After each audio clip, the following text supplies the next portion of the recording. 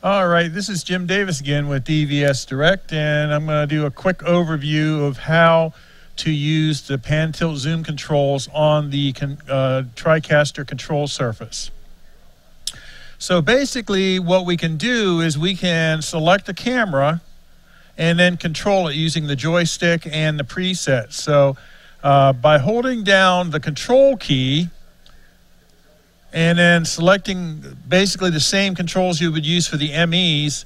You know, camera one would be ME1, camera two would be ME2, camera three would be ME3. So if I select camera two, by going to ME2, now I can send the camera to different presets. Now, if you look up here where it says zoom rate, when you hold down the uh, the control button, that now selects a preset you've assigned. So if I go here, now watch the camera, it's going to move uh, to that preset.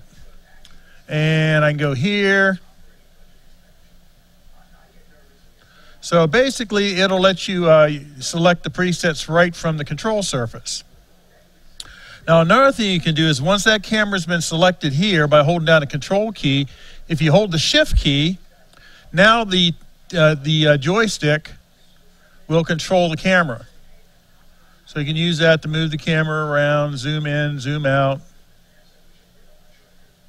pan up, pan down.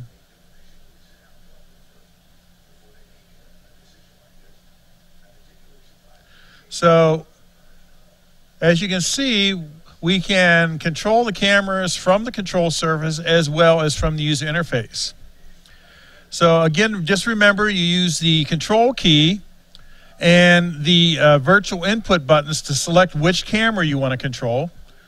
And then you can go to the different presets by selecting the zoom rate. And if you notice that there's a uh, there's actually eight positions, you can select the other position by holding down both the control and the shift key.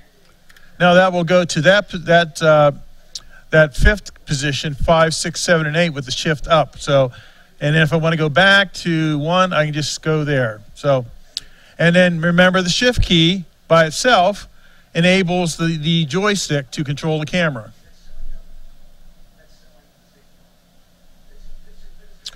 Well, I hope this quick demonstration was helpful. If you have any questions, feel free to email me at sales at dvsdirect.com, and I'll be more than happy to try to get you an answer. Thanks a lot, and we'll talk to you later.